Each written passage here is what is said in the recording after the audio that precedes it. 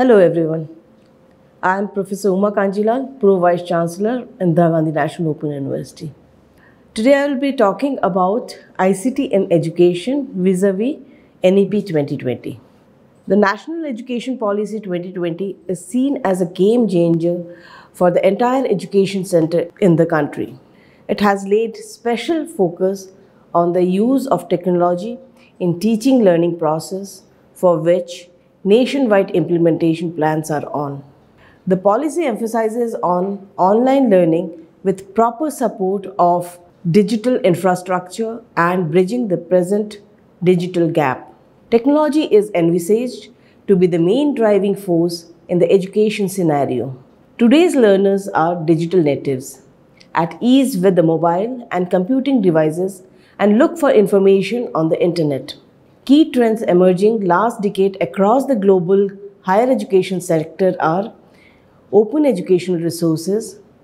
We have today a huge repository of open educational resources developed over the years across disciplines at all levels of higher education under the National Mission on Education through ICT initiative of the Ministry of Education.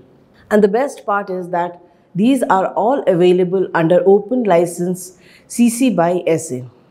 The second major development is massive open online courses in India, which is characterized by a vast disparity of educational facilities available across the country. India MOOCs, that is, SWAYAM, was initiated in 2016 to provide just-in-time quality education to heterogeneous learner community. Virtual reality and virtual worlds is another development that is changing the whole scenario. Today we talk about augmented reality, uh, something like Second Life kind of a platform, virtual labs, robotics. These are some of the applications getting popularized in the education context. The fourth major development is artificial intelligence use in education.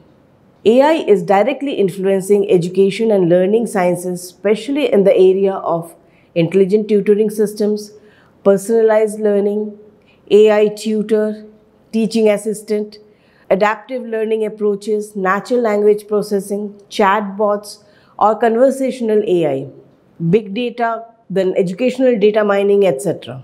Most of the learning management systems and MOOCs platform are having these features and are being extensively used for online virtual learning environment. The fifth development is of Internet of Things. Its use in education can have great impact in teaching learning process. It can be used for interactive learning by creating smart lesson plans using different types of educational labs and help in creating smart classroom environment. Personalized and customized lesson plans can be designed based on individual learning styles by capturing data from different devices. From security point of view, it can help in tracking learners capturing data through wearable devices. The sixth major development is in the blockchain technology. In educational context, it can improve record keeping and maintenance of degrees, diplomas and certificates. It can help in verification of transcripts, provide seamless payment transactions for students' fees, etc. It can be appropriately used for academic bank of credits proposed in the NEP 2020. It is already being used in digital distribution of degrees, certificates, which are non-temporable and verifiable from anywhere in the world. NEP 2020 encourages use of new technologies such as artificial intelligence, machine learning, blockchain, smart boards, handheld devices, so and so forth, for effective learning practices. Some of the technologies are already in use by many educational institutions as has been initiated by the National Mission on Education through ICT, but the latest technologies like AI, machine learning, blockchain are yet to be tested for large-scale implementation. This requires extensive research both from technology and education context. Online virtual education as an alternative delivery mode can fulfill the objectives like increase access to basic education, skill-based education and lifelong learning, both formal and non-formal, enhance the quality of teaching and learning to improve relevance and effectiveness of basic education, expand distance learning opportunities, especially for disadvantaged groups in remote areas. Section 24 of NEP 2020 has given emphasis on equitable use of technology in the context of online and digital education. The policy recommends the key initiatives like series of pilot studies to be conducted for online education, invest in creation of open, interoperable, evolvable public digital infrastructure for building robust digital infrastructure, appropriate existing e-learning platforms such as Swayam, Diksha to be extended to provide teachers with an online teaching platform and tools, developing engaging e-content including games, simulations, augmented reality, virtual reality, etc. Extending virtual labs by leveraging existing e-learning platforms such as Diksha, Swayam and Swayamprabha. Addressing the digital divide issues through appropriate technology infrastructure and extensive use of mass media such as television, radio and community radio to make content available 24 by 7 in different languages to cater to heterogeneous learner community. Then it talks about capacity building of teachers on learner-centric pedagogy and high-quality online content creation using online teaching platform and tools. Then proper online assessment mechanisms to be developed by appropriate bodies like National Assessment Center or PARAKH, school boards, NTA, etc., which will entail design and implementation of assessment frameworks encompassing design of competencies, portfolio, rubrics, standardized assessment and assessment analytics. Setting up of National Education Technology Forum for exchange of ideas on the use of technology to enhance learning and laying down standards is another major recommendation of NEP 2020.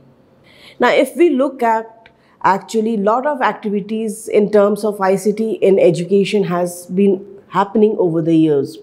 Lot of e-content got generated over the years a very good example is the NPTEL where we have 1000 plus web and video courses available.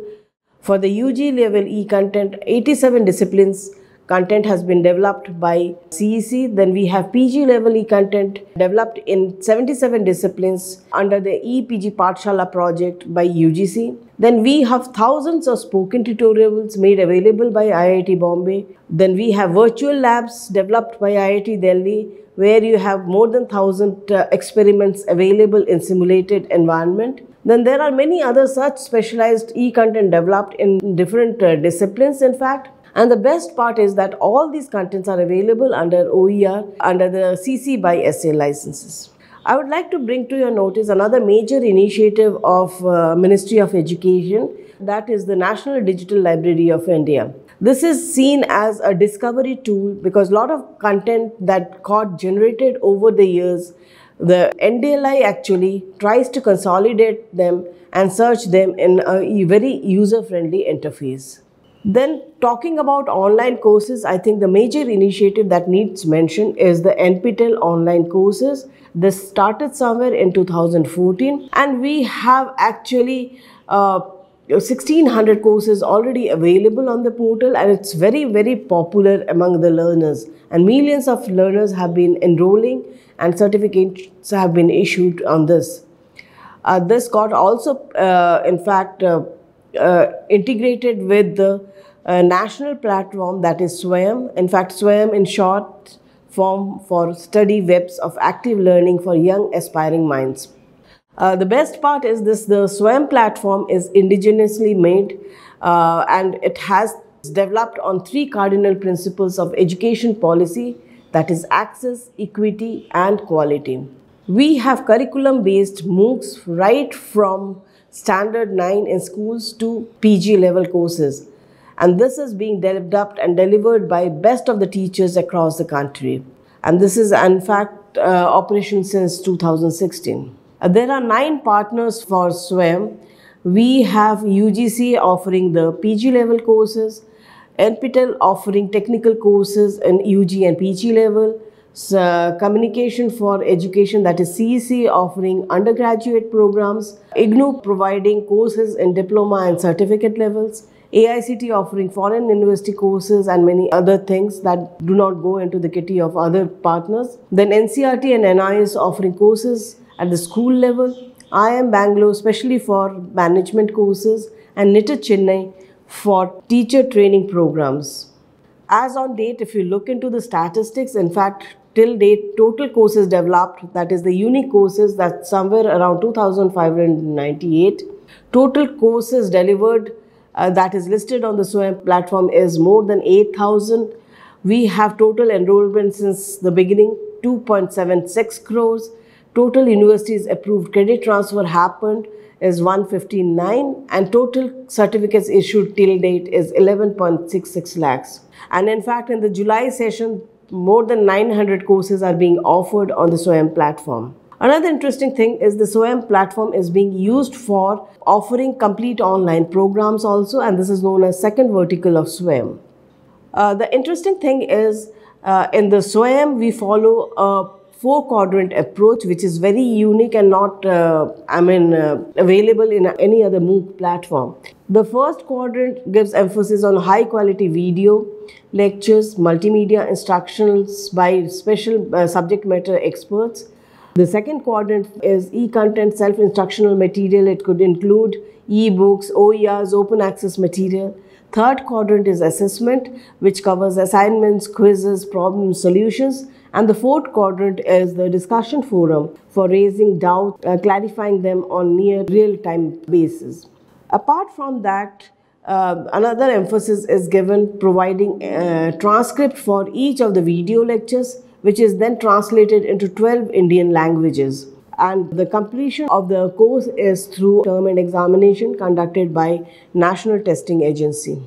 The certification, if a student is, overall the course is free, but if a student is interested for a certificate or a credit for that course, then they have to go through an exam process and the evaluation methodology is, follows the accepted norms that is prescribed in CBCS or any other systems that are followed by UGC, AICT, etc. And the credit-based courses requires the semester term and examination, which is a proctored examination conducted nationwide through exam partners like NTA. And then learners can get a certificate after they have registered for written the exam and successfully cleared it. And online assignment quizzes may carry weightage in final consolidated score. In fact, the best part is this the certificate that is issued is actually validated in a sense that the host institution issues the certificate with the signature of the controller of exam or in case of uh, or some registrar of examination. The importance of this credits of SWAYAM uh, one can see from the fact that it offers credit transfer. In fact, Gazette notification was first issued in 2016, which talked about 20% of credit transfer. And then this was followed by uh, last year, we had in 2021 another new uh, Gazette notification, which says that now 40% of the courses can be used for accruing your degree towards your degree.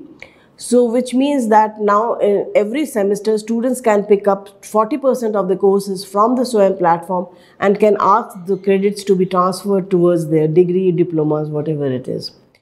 So it has a complete framework for credit mobility in place. And in fact, this is now getting included in the ABC portal, that is the Academic Bank of Credits where all the credits that are earned through the SWAYAM platform can be used for purpose of the degree and diplomas. In fact, the institutions are now being asked to get registered on the ABC portal and in fact, uh, the process is on registering the students on the SWAYAM portal and the, each and every student who are interested to earn credits from SWAYAM will need to first register on the ABC portal and then they can ask for the credit transfer through the ABC portal itself. Another major project I would like to mention about Ministry of Education that is the Swayam Prabha. At present we have 34 educational channels in that and it is actually based on India's communication satellite that is GSAT 15. In fact, there were 24 transponders on GSAT 15 of which two were allotted specially for the purpose of uh, Prabha. And this is actually these channels, if you see, they are running 24 by 7. And uh, the test run started somewhere in 2016, but the formal launch of this, all the channels were done in 2017. Now, in fact, there is a major effort towards extending these channels, 34 channels into 60 channels. And this all channels, at the moment we have uh, of the 34 channels, 12 channels are for the school level. But uh, in future, in fact, you will be having 60 channels for higher education. Because a major initiative has come where 200 channels are being allotted to the school sector. And that was announced in this budget, this year's budget. In fact, the whole objective of this DTH channels, this is to provide equal access, provide curriculum based courses, and that's for higher education. At the moment, it's covering school education, but in future, Swayam Prabha will be exclusively for the purpose of higher education. And this provides also a platform for live classes, and there is a channel also for competitive exam preparation. The partners in Swayam Prabha, we have BISAG, which is actually providing the uplinking facility. Uh, the satellite has been provided by Department of Space. Then INFLIBNET is actually maintaining the portal of the Swayam Prabha and major partner in this whole process is the content providers that is NPTEL, IITs, UGC, CEC, IGNOU, NCIT and NIOS. These channels are basically meant for DD Free Dish but they are also available on Dish TV, Jio TV, YouTube, and also there is a special mobile app for it. If you look into the portal of Swayam Prabha, you will at the moment find there is a special distinction between higher education and school education. But I think uh, as the developments that are happening in future, Swayam Prabha will be exclusively for higher education and the uh, 200 channels that are coming up, it will be for school education. If you look into the Swayam Prabha portal, in fact, the basic features is that it has facility of i mean you can look into the program schedule. You can have access to the archival videos. You can give your feedback on this. And it has the facility of searching and uh, browsing for the videos that you are looking in for.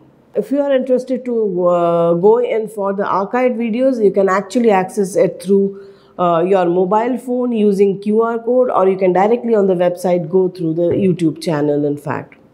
The major initiative that is being now taken up is also using the Swayam Prabha channels for offering live sessions in regional languages. IGNOU, for instance, has already started using its four channels, and in fact, uh, every day 13 hours of live classes are being taken for major courses in social sciences, and these are available in 13 languages at the moment.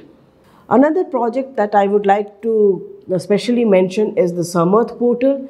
This is another initiative of Ministry of Education.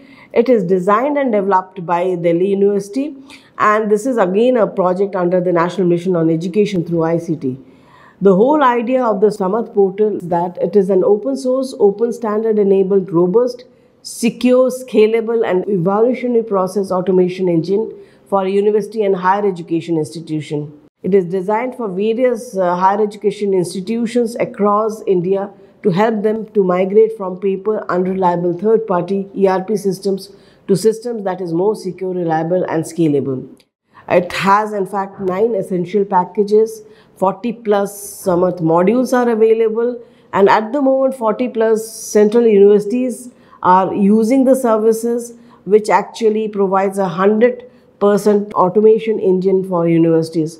But this is one uh, portal where actually major emphasis is being given by the ministry that this will be now extended to all the universities across the country, not just limited to the central universities, which will actually help in solving the requirement of ERP solution by the higher education institutions. Now, if we come to the section 23.3 of NEP 2020, there is a mention of creation of an autonomous body National Education Technology Forum NETF in short as a platform for free exchange of ideas on the use of technology to enhance learning, assessment, planning, administration, etc.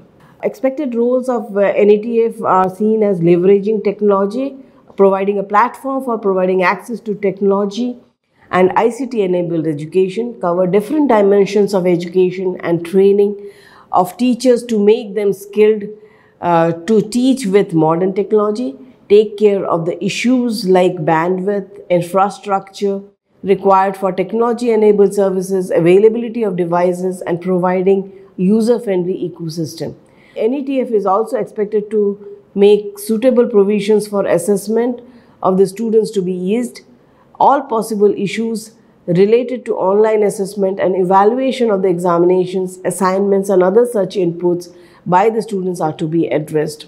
The major areas on which the NETF needs to focus on are ICT infrastructure, that is to provide subsidized connectivity, shared data center services, cloud computing under SaaS, PaaS or IaaS, low-cost access devices, smart classrooms, then e-content development and use, digitized and preservation of available content, pedagogy based on e-content development, accessibility in terms of uh, facilities to be provided for the differently challenged, language barrier, etc., promoting use of OER based online courses, standards and interpretive issues.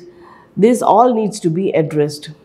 Then in terms of e-resources to support education, training and research, it needs to promote open access with support for developing institutional repositories, open access journals and ETDs, negotiating for national licensing for popular journals, reaching wider community through subject-specific consortia and library networks, working on standards for indexing and harvesting of metadata, and supporting development of search tools for knowledge discovery. In terms of ICT integration in education system, the NETF needs to facilitate uh, e-learning, blended learning, MOOCs, lifelong learning, face-to-face -face learning and skill training. Operational issues related to virtual university net framework needs to be addressed too. In terms of the e-governance, I think support is uh, needed for development and implementation of ERP or university management system for educational institutions and improving administrative processes through automation. And in fact, I mentioned about Samarth, this needs to be actually scaled up to a great extent. Then talking about ICT competencies and capacity building for different uh, stakeholders, I think a support is required for digital literacy and information literacy programs, training in e-content development and online delivery of programs by the teachers. Once we have NETF established, it is expected that it will go a long way in supporting digital initiatives of higher education institutions in the country. Another initiative I would like to mention here that is the National Digital Education Architecture. In fact, if you look into the vision statement of NDEAR, it says a globally pioneering effort in education, a unifying national digital infrastructure to energize and catalyze the education ecosystem. NDEAR aims to create and deliver diverse, relevant, contextual, innovative solutions that benefit students, teachers, parents, communities, administrators, and results in timely implementation of policy goals. And already we have NDEAR in the school sector, but now it is actually now upgraded for the higher education institutions and activities are on for this going on. In fact, recently this uh, Union Budget 2022, you saw the announcement for the education and skilling sector focused on setting up of digital university to expand reach, improve quality education, build capacity, and strengthen the digital education ecosystem. The digital university mandate talks of raising the current gross enrollment ratio of 27.1 to 50% in higher education by the year 2035 no upper cap on number of seats and number of online programs that are to be offered. Anyone who has passed class 12 would be eligible for admission. Universal education without dislocation, providing concerned learners are equipped for digital learning, faculty development and opportunities to bridge the gaps in faculty development, enrollment in SEDGs, employability enhancement skills, formal and non-formal, recognizing prior learning, etc. Quality education accessible for all through remote learning, reaching out to students belonging to rural, remote areas. The course will be multilingual. In fact, all regional languages are expected to be covered and which will further enhance the inclusivity of students. In fact, with shortage of infrastructure and teaching faculty, it is important that we harnessed the potential of technology to democratize education and reaching out to the masses through a collaborative platform. The SWAYAM initiative of the MOE has already made an impact and this needs to be further strengthened with advanced tools like artificial intelligence, augmented reality, virtual reality, Internet of Things, blockchain technology, etc. For last mile connectivity and maximizing reach, Swayamprabha channels can play a major role in enhancing learning and the channels need to be strengthened with latest technology to provide world-class engaging interactive content. Over the years, major content have been developed across disciplines and also NPTEL online courses, SWAYAM and Swayamprabha projects further enhance the teaching learning process all the efforts now need to be consolidated and integrated to provide effective learning solution for digital and online learning environment. Thank you very much.